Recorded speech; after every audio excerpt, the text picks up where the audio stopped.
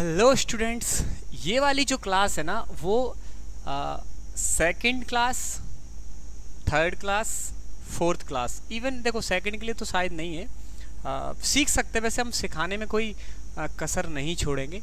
आपको बहुत आराम से सिखाएँगे। और आपको पता है कि मेरा मेरा सिखाया हुआ इवन ब्राइट फ्यूचर एकेडमी के टीचर्स द्वारा सिखाया हुआ आपको समझ में ज़रूर आएगा। यदि आप थोड़ा सा भी ध्यान देते हैं तो ठीक है?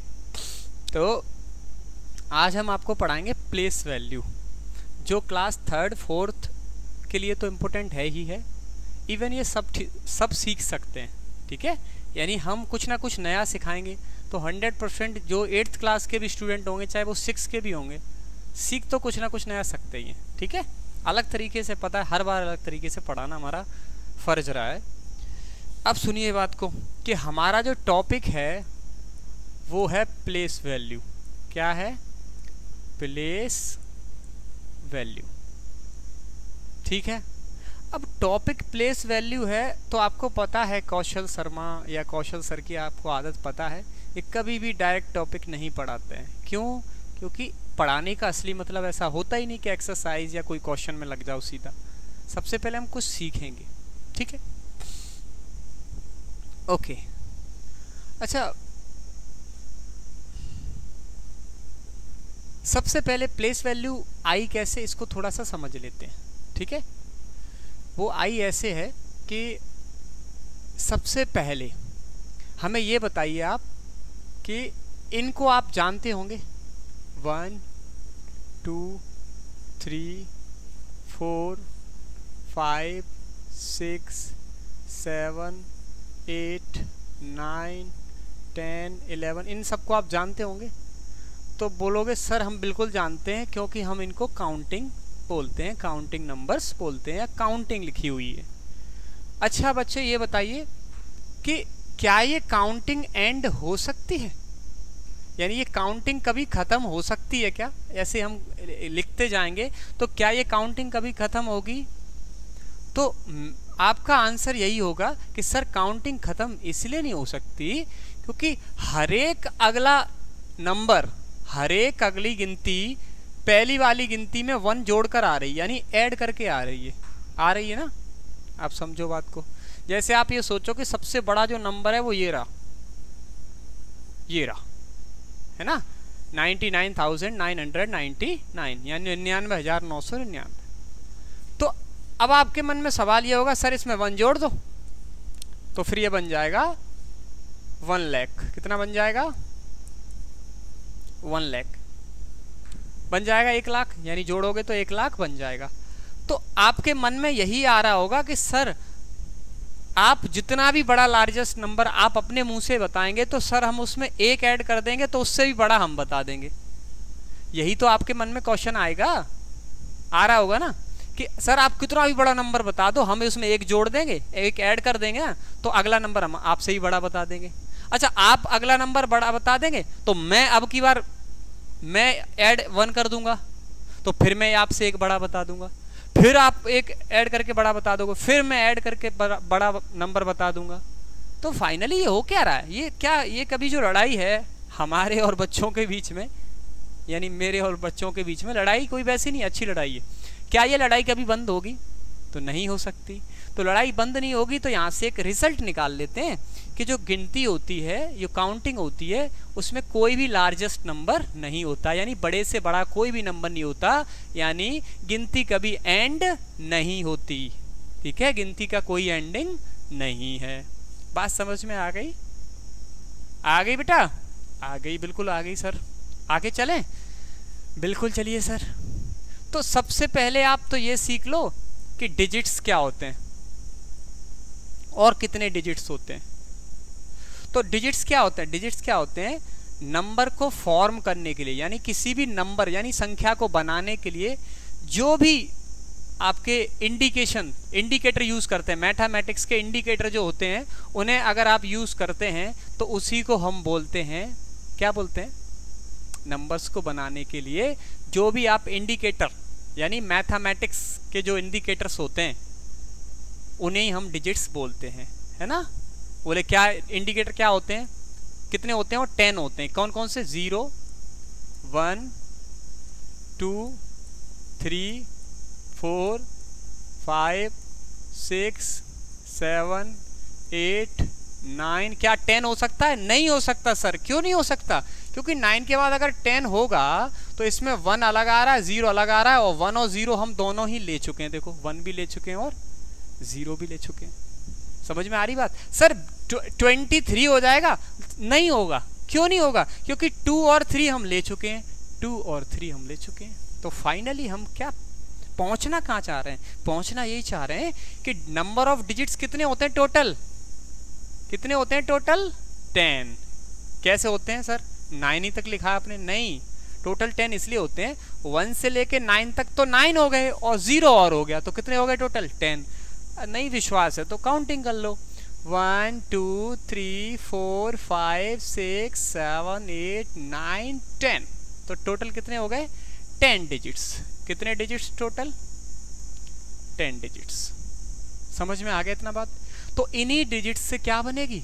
नंबर कितने डिजिट्स की? वन डिजिट की बन सकती है। बोले, कैसे बन सकती है? ओनली वन क्या अच्छा ये नंबर नहीं है? ये भी नंबर है? ये वन डिजिट की नंबर है? ये इसमें डिजिट कितना है? वन ये नंबर नहीं है? यस नंबर है। वन डिजिट की नंबर है। ये वन डिजिट की नंबर है। ये भी वन डिजिट की नंबर है। ये सब वन डिजिट की नंबर्स हैं। यानी अब आपके मन में सवाल ये आ रहा होगा, सर, ये नंबर्स भी और डिजिट्स भी यस उसमें क्या है? अब वन डिजिट की बनानी हो तो यही सिंगल सिंगल लिख दो। ठीक है?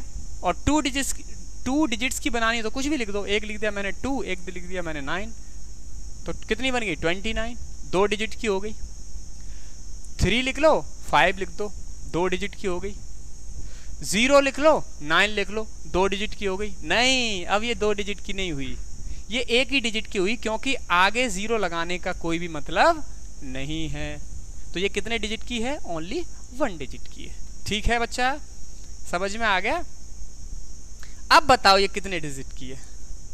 तो बोलोगे सर, ये वन डिजिट की नहीं बच्चा, ये वन डिजिट की नहीं है। टू के बाद ज़ीरो का मतलब नहीं है क्या? इसको कितना पढ़ते हैं अपन? ट्वेंटी बीस। तो मुझे बताओ, ये कितना डिजिट है? One digit two digit total कितने डिजिट है? टू समझ में आ रही है? क्योंकि पीछे ज़ीरो लगाने का तो मतलब है। है कि नहीं है? बिल्कुल है, सर। तो आगे चला जाए। बिल्कुल। तो अब मुझे बताओ, यहाँ से ये पता चल गया कि कोई भी लार्जेस्ट नंबर नहीं है। अच्छा इसको आपने पढ़ लिया कि ये कितना है? वन लैख, यानी एक लाख है। कैसे? इकाई ढाई, इस तरह से पढ़ते हो ना? फाइनली आप, मैं ये समझ के चलता हूँ कि ये आप पढ़ना नहीं जानते। इसको हम न्यूमरेशन बोलते हैं। इंडियन सिस्टम में न्यूमरेशन कैसे करते हैं? तो ये राम सर ने आपको बहुत अच्छे से पढ़ाया उनकी क्लासेस आप ज्वाइन कीजिए। जो पुरानी क्लासेस डली हुई हैं, जो हम मोबाइल से वीडियो बनाते थे तब की बात है। करीबन चार पाँच महीने पहले की। हाँ चार पाँच, तीन चार महीने या चार पाँच महीने पहले की बात है, वो वीडियोस आप न्यूमरेशन के देख ली फिर भी मैं सिखा देता हूँ, ठीक? तो आप, अब मैं क्वेश्चन आपको लिख रहा हूँ कि आप इसको पढ़ के बताओ।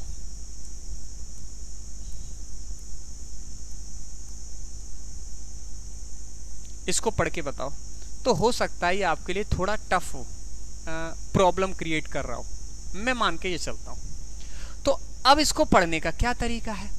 तो पढ़ने का जो तरीका होता है बेटा, वो तरीका ये होता है कि पहले नंबर पे जो आता है, वो होता है once O N C E sorry sorry once one एक बार. वंस दूसरे नंबर पे जो आता है, उसे हम बोलते हैं टेंस ठीक है? तो यह मैं आपको टेबल बता देता हूँ इस तरह से. पहले नंबर पे जो आता है, पीछे से मैं बता रहा हूँ? पीछे से. यूनिट डिजिट पीछे से काउंट होता है। या तो इसे वंस बोल दो, या यूनिट भी बोल सकते हैं।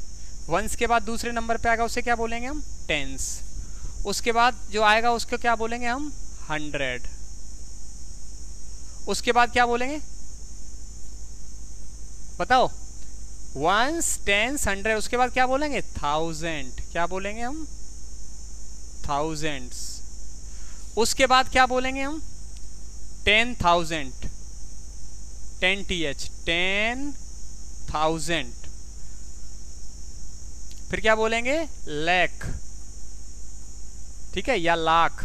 ठीक है? और फिर टेन लैख ठीक है?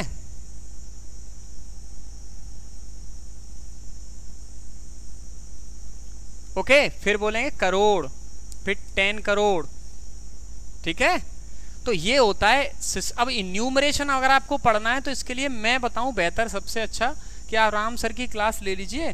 इससे न्यूमरेशन बहुत अच्छे समझ में आएगा। फ़िलहाल तो मैंने आपको बता दिया। हिंदी में बोले तो इकाई ढाई सैक इकाई ढाई सैकड़ा, हज़ार, दस हज़ार, लाख, दस लाख, करोड़, दस करोड़, अरब, दस अरब, खरब, दस खरब, इस तरह से मिलियन में भी चले जाए। मिलियन में जाओगे तो फिर वहाँ से लिखेंगे, कहाँ से? इंटरनेशनल सिस्टम से। ठीक है? तो दो सिस्टम होते हैं, इंडियन सिस्टम और international system. Inter, Indian system अपना ये होता है इकाई ढाई सैकड़ा, जिसको हम ones tens hundred thousand ten thousand lakh ten lakh crore, दस करोड़, इस तरह से टेन करोड़, ठीक है? समझ में आ रही बात?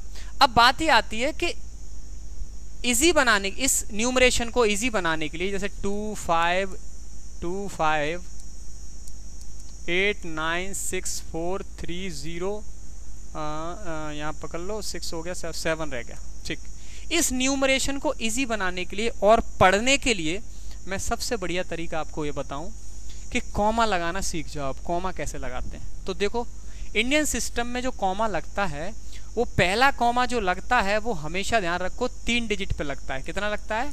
तीन डिजिट बाद। वन टू थ्री फिर उसके बाद हर एक दो डिजिट पे लगता है। समझ में आ गया? तीन डिजिट पे लग गया। अब दो डिजिट छोड़ के फिर लग जाएगा। फिर दो डिजिट छोड़ के फिर लग जाएगा। अब पढ़ने का तरीका आसान हो जाएगा। ठीक है? वंस टेंस समझ में आ रहा? इनके नाम देते जाएँगे। और फिर पढ़ेंगे कितना? अब देख लो मैक्सिमम कितना पहुँच रहे हैं? Ones tens hundred thousand ten thousand lakh ten lakh crore इकाई ढाई सैकड़ा, हज़ार, दस हज़ार, लाख, दस लाख करोड़ तो two crore fifty eight lakh ninety six thousand four thirty seven यानी फोर हंड्रेड थर्टी सेवन ये पढ़ने का एक्चुअल तरीका है। न्यूमरेशन में आपको बेहतर है, मैं आपको न्यूमरेशन का चैप्टर ही पढ़ा दूँ। थोड़ा जल्दी में पढ़ाऊँगा ताकि कवर हो जाए। न्यूमरेशन कैसे करते हैं? उसके कुछ रूल्स होते हैं। एक कॉमा लगाने के कुछ रूल्स होते हैं कि आपको पेयर बनाए जाते हैं तीन तीन के पेयर बनाए जाते हैं। दो दो के पहला पेयर तीन का होता है फिर दो दो के पेयर बनाए जाते हैं। तो आपको एक न्यूमरेशन का चैप्टर आपको अच्छे से क्लियर करा देंगे जो कॉन्सेप्ट है उसका जो बेसिक है। वो आपको रूल्स बाई रूल्स हाँ। और न्यूमरेशन के अलावा आपको ये और सिखा देंगे कि रोमन नंबर्स कैसे हम लिखते हैं। Roman numbers. पढ़े हो ना रो, रोमन नंबर्स? कैसे? फ़र्स्ट वन को ये लिखते हैं सेकंड को ये लिखते हैं थर्ड को ये लिखते हैं फोर्थ को ये लिखते हैं फिफ्थ को ये लिखते हैं। तो ये सब रूल्स के अकॉर्डिंग चलता है। इंटरनेशनल जो सिस्टम है या बोल सकते हैं हम ये एक तरह से इंग्लिश सिस्टम है रोमन समझ में आ रहा है बात? तो हम इसको पढ़ेंगे इसके लिए हम एक अलग वीडियो बनाना पड़ेगा और ये हम्म, एक वीडियो में ही कवर हो जाएगा रोमन ठीक है? छः या सात रूल्स हैं ऐसा कुछ है तो मैं आपको वो क्लियर करा दूँगा। ठीक है? तो अभी फ़िलहाल हमें क्या सीखना था? प्लेस वैल्यू और प्लेस वैल्यू के मैंने आपको डिजिट्स बता दिए। अब सुनो इसको पढ़ने का और तरीका। ये फाइनली आया कैसे था? तो देखो, आया कैसे था? पहले समझो। ये टू करोड़ था ना तो टू करोड़ लिख लो। तो टू के बाद देखो ज़ीरो कितना लगेगा? वन टू वन टू फिर one two one two one two one two तो ये लिखा दो करोड़। उसके बाद कितना है? Fifty eight lakh fifty eight lakh तो 58 उसके बाद दो ज़ीरो उसके बाद तीन ज़ीरो। 58 लिख लिए। 96,000 तो अब 96,000 लिखना है आपको। तो 96,000 हेलो हाँ। आ रहे हैं आ रहे हैं हम घर पे आ रहे हैं। हाँ। उसके बाद क्या लिखोगे? 400 तो 400 लिख लो। उसके बाद उसके बाद क्या लिखोगे? थर्टी सेवन उसके बाद थर्टी सेवन लिख लिए। अब इसको ऐड कर लो फाइनली आप यहाँ पे पहुँच जाएँगे। समझ में आ रही बात? लेकिन ये क्या था? ये क्या था? ये ये ये ये। तो आपको ये पता है ये क्या था? ये सब, ये जो लिखा है मैंने, ये लिखा था प्लेस वैल्यू सॉरी यहाँ पे लिखोगे थर्टी और फिर लिखोगे सेवन क्या लिखोगे? थर्टी अलग लिखोगे सेवन अलग लिखोगे। तो ये सब क्या था? ये हुआ ये हुआ। ये सेवन ये थर्टी क्या था? यहाँ पे फिफ्टी एट लैख क्या था? नाइन्टी सिक्स थाउज़ेंड क्या था? फोर हंड्रेड क्या था? थर्टी क्या था? सॉरी थर्टी तो यहीं आ गया। सेवन क्या था? फाइनली ये था क्या? कि मैंने आपको तोड़ के लिख दिया। तो इसी को तो बोलते हैं प्लेस वैल्यू यानी जिस डिजिट की आपको पूछी है, उसके बाद कितने डिजिट्स आ रहे हैं, उतने ही जीरोस आएँगे। तभी तो ये नंबर ऐड करके ये बनेगा। सारे, देखो, सारे डिजिट्स की अगर प्लेस वैल्यू निकाल ली जाए, सारे डिजिट्स की अगर प्लेस वैल्यू निकाल ली जाए, उनको ऐड कर दिया जाए तो फाइनली वही नंबर बन के आएगा। एग्ज़ाम्पल आपको समझ में नहीं आएगा बड़ी नंबर दिख रही है इसीलिए। एक छोटी नंबर आपको लेके एग्ज़ाम्पल बताता हूँ। जैसे मैंने एक छोटा एग्ज़ाम्पल बता दिया। 156 ठीक है? समझो। मुझे ये बताओ वन का प्लेस वैल्यू कितना होगा? तो आप बोलोगे वन के बाद दो डिजिट हैं तो कितना होगा? दो ज़ीरो ओके ये तो वन का हो गया. बताओ, बच्चा फाइव का कितना होगा? तो फाइव के बाद कितना डिजिट है? वन डिजिट है तो कितना हो गया? फिफ्टी हो गया. सिक्स का कितना होगा? तो बेटा सिक्स होगा. अच्छा फाइनली आप इसको ऐड करके देखना. ज़ीरो ज़ीरो सिक्स सिक्स रहेगा. ज़ीरो फाइव फाइव फाइव रहेगा. वन वन रहेगा. फाइनली ऐड किया, कितना आया? यहाँ से क्या पता चल रहा है, बेटा? यहाँ से ये पता चल रहा है कि जो प्लेस वैल्यू होती है, इसलिए निकाली जाती है कि हम सारी प्लेस वैल्यू को अगर ऐड करेंगे, सारे डिजिट्स की प्लेस वैल्यू को ऐड करेंगे तो हम, और हम तो हम उसी नंबर पे पहुँच जाएँगे, जिस नंबर के डिजिट्स की, जिस नंबर के डिजिट्स की प्लेस वैल्यू निकालनी थी। नहीं समझ में आया? फिर से समझो बच्चा। कैसे समझें? जैसे मैंने लिखा वन ज़ीरो थ्री नाइन। ठीक है? तो चलो, वन की प्लेस वैल्यू क्या होगी? तो वन के बाद जितने भी डिजिट्स हैं वो लिख दो। One, two, three. तो वन, टू, थ्री। बताओ, ज़ीरो की क्या होगी? तो ज़ीरो के बाद जितने भी लिखे हैं वो ज़ीरो लिख दो। तो ज़ीरो की हमेशा ज़ीरो रहती है, क्योंकि ज़ीरो के बाद कुछ भी लिखने का कोई मतलब नहीं है। ज़ीरो के बाद ज़ीरो लिखने का कोई मतलब नहीं है। सॉरी कुछ भी तो लिखने का मतलब है। ज़ीरो के बाद ज़ीरो लिखने का कोई मतलब नहीं है। कितने भी ज़ीरो लगा दो, इसका कोई मतलब नहीं है। तो फाइनली तो आप लगाना चाहो तो ज़ीरो के बाद दो ज़ीरो लगा दो तो ज़ीरो के बाद दो ज़ीरो लगा दिए। उसके बाद बताओ बेटा थ्री की कितनी है? तो थ्री के बाद एक डिजिट आ रहा है तो कितना हो गया? थर्टी नाइन की कितनी है? बोले नाइन है सर अब इसको ऐड करना बच्चा। Nine three zero three three zero zero zero finally one answer कितना आया? उतना ही। तो अब समझ गए? प्लेस वैल्यू क्या है? अब यहाँ से पता चल गया कि प्लेस अब मैं डायरेक्ट बता देता तो क्या मतलब था? इतना टाइम क्यों खपाया? भाई, इतना टाइम मैंने इसलिए इन्वेस्ट किया कि आप अच्छे से समझ पाए कि प्लेस वैल्यू आती कैसे। और क्यों आती? ज़रूरी क्या है प्लेस वैल्यू हम इस पर फेस वैल्यू क्यों नहीं अभी यूज़ की रही? यानी जो फेस वैल्यू वो क्यों नहीं यूज़ करी? फेस वैल्यू को ऐड करोगे तो वो नंबर नहीं आएगी। भाई, यहाँ पे जो वन की फेस वैल्यू वो वन है ज़ीरो की फेस वैल्यू ज़ीरो है। थ्री की फेस वैल्यू थ्री है और नाइन की है नाइन। वही अब जोड़ के देख लो। क्या वो नंबर आ जाएगी? नहीं आएगी। ठीक है? तो प्लेस वैल्यू क्या हो गई बेटा? प्लेस वैल्यू यानी उस डिजिट्स के बाद, उस डिजिट्स को लिखने के बाद कितने डिजिट्स हैं उतने ही आपको ज़ीरो लगाने हैं। ज़ीरो लगाने से फ़ायदा ये है कि सारे डिजिट्स की अगर हम प्लेस वैल्यू निकाल लेते हैं और सबको ऐड कर लेते हैं, हम उसी नंबर पे पहुँच जाते हैं, जिस नंबर के डिजिट्स की हमको प्लेस वैल्यू निकालनी थी। अब समझ में आ गई बेटा? अब आ गई बिल्कुल सर तो बताओ फिर। इसमें टू की प्लेस वैल्यू कितनी होगी? तो टू के बाद जितने digits one two three four five तो टू के बाद कितने जीरोस आएँगे? फाइव अब आप बोले, सर, ये कॉमा कैसे लगा रहे हो? भाई, मैं बता दिया। पहला कॉमा है, वो तीन डिजिट्स बाद लगेगा। फिर हर दो डिजिट पे, फिर दो डिजिट्स फिर दो डिजिट्स फिर दो डिजिट्स ठीक है? थ्री का कितना है? तो बोले, सर थ्री के बाद जितने भी डिजिट्स हैं, उतने ज़ीरो लगा दो। लगा देंगे, sir. One two three four तो थ्री के बाद फोर लगाने हैं तो वन टू थ्री और फोर पहला कॉमा कहाँ आएगा? यहाँ। तीन डिजिट बाद आएगा कॉमा फिर उसके बाद सेवन का कितना है? तो सेवन के बाद कितने? वन टू थ्री तो वन टू थ्री बताओ कॉमा कहाँ आएगा बेटा? तीन डिजिट बाद। वन टू थ्री नाइन का कितना होगा? तो नाइन के बाद कितने डिजिट्स हैं? वन टू तो वन टू अब ज़ीरो का कितना होगा? ज़ीरो ही होगा। फिर अगले वाले ज़ीरो का कितना होगा? ज़ीरो ही होगा, क्योंकि डी ज़ीरो का जो प्लेस वैल्यू होता है, वो ऑलवेज ज़ीरो होता है। अब फाइनली इन्हें आप बच्चा ऐड करोगे ना तो यहीं पे पहुँच जाओगे। तो आप प्लेस वैल्यू बहुत अच्छे से सीख गए कि आई कैसे थी और क्यों आई।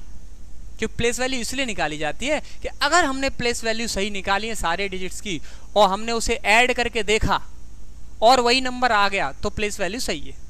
अदरवाइज़ प्लेस वैल्यू कोई ना कोई गलत है या सारी गलत हो सकती है। ठीक है बच्चा? प्लेस वैल्यू इस वीडियो में आप सीख गए। हम आपको दो वीडियोस नए जल्दी देंगे, यानी जिसमें पहले में वीडियो में बताया जाएगा। एक वीडियो में तो होगा रोमन नंबर्स के बारे में, और एक वीडियो में होगा न्यूमरेशन कैसे करते हैं लैख टेन लैख थाउज़ेंड ये सब न्यूमरेशन कैसे होता है। ठीक है? तो इसको ये जो वीडियो है वो थर्ड फोर्थ सेकंड वाले भी देख सकते हो, कोई बड़ी बात नहीं है। सेकंड थर्ड फोर्थ फिफ्थ यहाँ तक के बच्चे भी देख सकते हैं, ठीक है? देखने को सभी देखें, छोटे बच्चे देखें, बड़े बच्चे देखें, बच्चों के पेरेंट्स देखें, वो भी सीख जाएँगे, बच्चों को सिखाएँगे, ठीक है? तो हम जल्दी ही, हो सकता है शाम को ही प्रोवाइड आपको करा दें, ठीक है? सो तब तक के लिए बाय